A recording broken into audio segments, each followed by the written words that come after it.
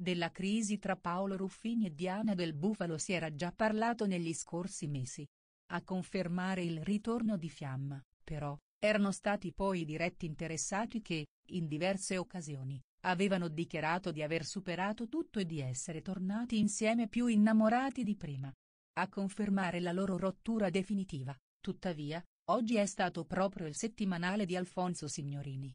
Nella rubrica Chicche di Gossip di chi, infatti, è possibile leggere la notizia relativa alla fine della loro storia.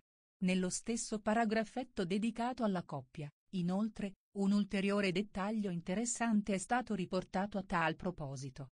Diana del Bufalo, nello specifico, sarebbe volata alle Maldive con un altro uomo e questo, stando a quanto riportato da chi, avrebbe molto infastidito l'ormai suo ex Paolo Ruffini. Se seguite il profilo Instagram di Diana del Bufalo probabilmente già lo sapete, l'ex allieva di Amici è volata alle Maldive. Con lei, inoltre, ci sono anche due ex volti di uomini e donne, ovvero Fabio Colloricchio e Nicola Mazzocato. A dare molto fastidio a Paolo Ruffini, però, non è la loro presenza. Come si legge su chi, infatti, Diana del Bufalo è volata alle Maldive insieme all'amico e attore Cristiano Caccamo.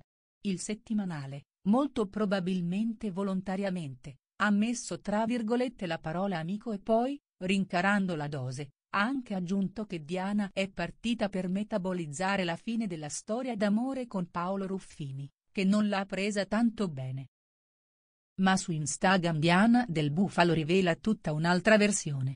A chi, quattro giorni fa, le chiedeva dove fosse Paolo Ruffini, lei ha risposto che il comico non ama viaggiare, ma conferma di essere ancora fidanzata con lui. Sul profilo Instagram di Paolo, inoltre, la bella Diana lascia commenti di amore. E per finire sul profilo social di Diana ci sono ancora tutte le foto della coppia, mentre per Caccamo l'hashtag usato è Friends. Vedremo cosa succederà al ritorno dalla vacanza con gli amici.